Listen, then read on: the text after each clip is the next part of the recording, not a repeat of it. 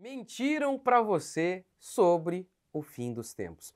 E quando eu digo isso, eu não estou nem dizendo que todos eles fazem de propósito. Esses, esses mesmos pastores do Apocalipse, eles também foram enganados. E estão enganando a muitos também. Agora, a pergunta é por que, que eles erram tanto, né? E é sobre isso que a gente vai falar um pouco aqui. Agora, a questão é a seguinte: como que as pessoas gostam desse tema? O fim dos tempos, o apocalipse. Como que isso desperta a curiosidade das pessoas? E talvez aí esteja um dos pontos que explica por que as pessoas são tão enganadas. Ora, quando Deus ele fala sobre o futuro para o seu povo, por exemplo, em Daniel, eu estou pregando no, com base no livro de Daniel na minha igreja, e uma parte do livro de Daniel é escatológica, ou seja, fala do fim dos tempos. Quando Deus instrui o seu povo acerca do futuro, não é por curiosidade mórbida, não. Não, apenas para sanar algumas de suas angustiazinhas, duvidazinhas. Não. O objetivo é fortalecer o povo. É mostrar, olha, os dias serão terríveis, vai acontecer isso, portanto, sejam fiéis, não desanimem, eu estou convosco todos os dias. Ora, isso é tão, é tão importante, esses livros proféticos, porque eles nos consolam, eles nos preparam, eles nos dão esperança. Por exemplo, os judeus, eles interpretaram incorretamente as profecias. Eles achavam que o Messias ele seria um general político. E por isso, quando viram Jesus montado num jumento, eles o rejeitaram. Porque eles estavam olhando para o lugar errado, já que interpretavam incorretamente as mensagens bíblicas acerca do futuro. Nesse sentido, é o que acontece muito hoje também. Como que os crentes de hoje estão sempre olhando para o lado errado. E isso, em, em grande parte, por conta desses pastores do Apocalipse que apontam para o lado errado. Vamos dar um exemplo. A marca da besta. A marca da besta já foi carro, Visa, cartão Visa, código de barras. E agora, tudo isso que foi dito como marca da besta está sendo usado, inclusive, por esses pastores do Apocalipse aí. Qual pastor que não vai lá e compra algo e, e não se utiliza do código de barra? É, já que o código de barra está presente, código de barras está presente em tudo. Então, mas por exemplo, lá em Apocalipse mesmo, o texto que fala sobre a marca da besta é Apocalipse 13. Fala sobre uma besta com vários, várias coroas, chifres, e os, esses próprios pastores do Apocalipse, eles vão interpretando aquilo ali como figurado, como sentido figurado. Aquilo representa o anticristo, representam governos. E aí quando chega na marca da besta, eles pum, dão um, um cavalo de pau no Boeing e dizem, ah, essa marca da besta aqui é literal. Se tudo ali é simbólico, por que, que a marca da besta seria não seria literal? Não há coerência no, no que eles falam. Agora veja bem, e se a marca da besta, então, como eu proponho, é figurado, é um sentido, tem um sentido simbólico. Que sentido? Lembra que sem a marca os homens não poderiam comer, comprar ou vender? E se a marca da besta simboliza isto aqui? Todo crente, quando ele, simplesmente pensando numa questão monetária, com medo de perder dinheiro, ele nega a sua fé, Será que ele já não está marcado? Tá vendo como que isso é importante? Se você interpreta de maneira correta, a marca da besta já está correndo por aí. Há muito tempo. Há muito tempo.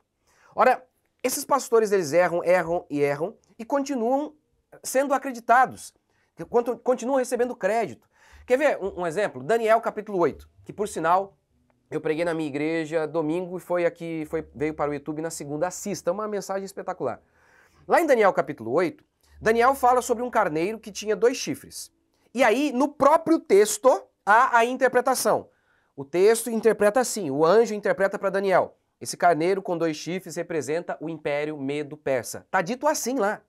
Não precisa fazer interpretação. O anjo deu. Mas aí, quando as do, duas torres gêmeas lá, o World Trade Center, nos Estados Unidos, foram atingidas, o que os pastores disseram? Os pastores do Apocalipse: está se cumprindo a profecia. Não, já tinha se cumprido. Já tinha se cumprido. Quer ver outro, outro exemplo? Jesus disse: Ouvireis guerras e, e rumores de guerras, mas ainda não é o fim. Está dito exatamente assim: ó. Vocês vão ouvir guerras e rumores de guerras, mas isso ainda não é o fim. Mateus 24, 6. Certamente ouvireis falar de guerras e rumores de guerras. Vede, não vos assusteis, porque é necessário assim acontecer, mas ainda não é o fim. Mas acontece uma guerra, o que os pastores apocalípticos fazem? Estoura uma guerra, eles marcam o fim do mundo para a semana que vem. Então, veja bem, e por que, que acontece tanto esses erros assim? Eu sei, o, o assunto escatológico, o tema da escatologia é difícil, mas há muitos erros aí, demais até. Por que isso acontece? Porque um dos, uma das explicações é que os pastores abandonaram o método gramático histórico de interpretação da Bíblia, que é, foi o método que os reformadores usaram, que era o método que o Novo Testamento, que os apóstolos usaram para interpretar o Antigo Testamento. Ou seja, o sentido do texto está preso nas palavras. O significado de uma passagem é aquela, é aquele que o autor quis transmitir aos seus ouvintes. Ou seja, o texto não tem o sentido que o pastor quiser dar. O pastor precisa ler o texto, respeitar as regras gramaticais, saber que ele está lendo um livro no idioma humano e que Deus se comunicou conosco através deste livro, por, através dessa linguagem. Portanto, nós devemos respeitar essa linguagem e ler o texto. E é isso que exatamente isso que eles não fazem.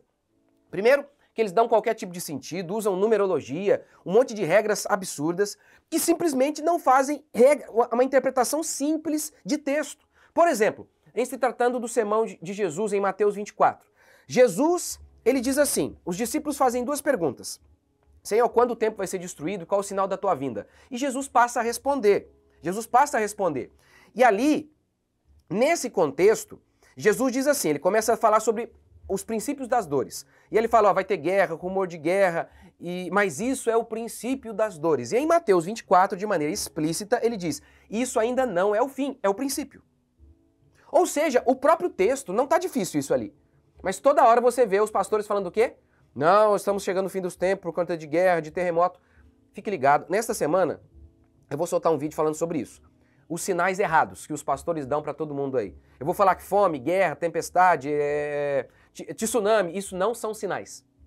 Fique ligado, nessa semana eu vou falar sobre isso. Por quê? Porque o próprio Jesus disse isso. Depois de falar de fome, Mateus 24, fome, terremoto, até falso profeta, aí ele diz: Não se espantem, isso ainda não é o fim. É o princípio. Tá lá, gente, pelo amor de Deus. O texto tá, tá, tá explícito. Qual a dificuldade de entender um negócio desse? Tá vendo? Eles não respeitam o nosso idioma. Não respeitam que este texto, que Deus se comunicou conosco através de um idioma humano. Portanto, devemos entender de português. É o que muitos pastores não fazem.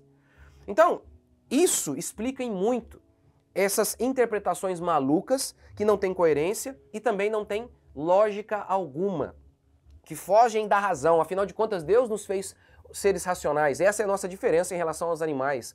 Deus nos fez conforme a sua imagem e semelhança. E muitas interpretações não fazem sentido algum. Mas este meu vídeo hoje é só um aperitivo. Por quê? Porque amanhã eu vou falar sobre o anticristo. E eu estou falando neste mês, nesses últimos dois meses, sobre Daniel justamente por isso. É impressionante como o texto bíblico, muitas e muitas vezes, é claro, algumas passagens são difíceis, mas, mas muitas passagens são extremamente claras. Como Daniel 8, o próprio anjo interpreta o significado do símbolo profético, e mesmo assim os pastores interpretam de maneira incorreta. Esse foi inclusive o motivo que me levou e que me inspirou a pregar e a, a, sobre Daniel. E então, e na semana que vem, amanhã, né, amanhã eu vou falar sobre o anticristo.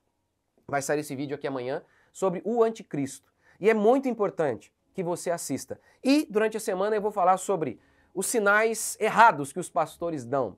Sinais que Jesus disse que não eram sinais, mas o tempo inteiro os pastores estão dizendo que, que são sinais.